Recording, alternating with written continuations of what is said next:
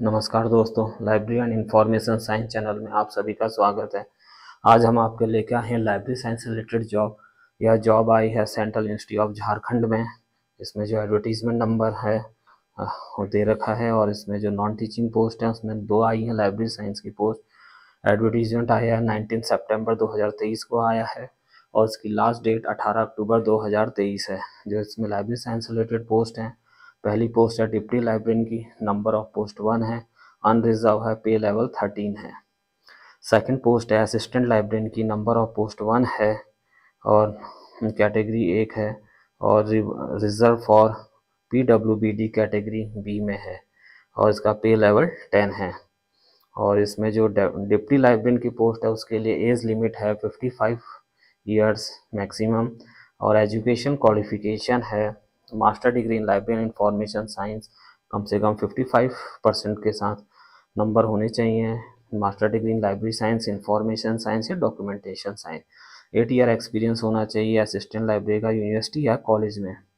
या college librarian का होना चाहिए आठ साल का। और थर्ड है एविडेंस होना चाहिए इनोवेटिव लाइब्रेरी इन आई और फोर्थ है B S D degree in library science information science documentation science archive और मैन्यूस्क्रिप्टिंग कीपिंग में। या कंप्यूटराइजेशन ऑफ़ लाइब्रेरी फिर जो नेक्स्ट पोस्ट है नेम ऑफ़ पोस्ट है assistant librarian number of post one age limit forty education other qualification है master degree में fifty five percent marks होने चाहिए और गुड एकेडमिक रिकॉर्ड मांगा है और यूजीसी का नेट सेट या स्लेट जो भी है, या 2009 तक की पीएचडी मांगी गई है। और पीएचडी अवार्ड हो जानी चाहिए और उसमें कम से और उसमें इंटर वाहिवा में टू एक्सटर्नल एग्जामिनर होने चाहिए।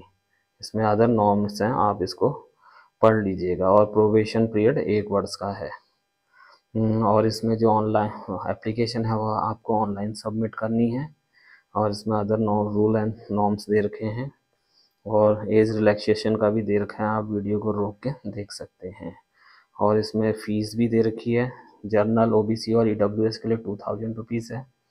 S T S C P W B D women के लिए एग्जेप्टेड है।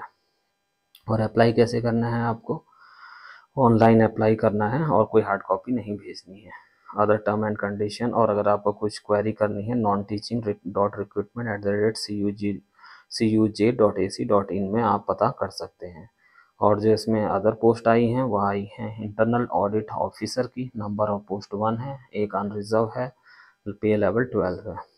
नेक्स्ट है medical officer male number of post one unreserved है पे लेवल टेन है। फिर है Hindi officer number of post one unreserved है और पे लेवल टेन है। तो दोस्तों आज की पोस्ट ही मिलते हैं नेक्स्ट वीडियो में, तब तक के लिए धन्यवाद।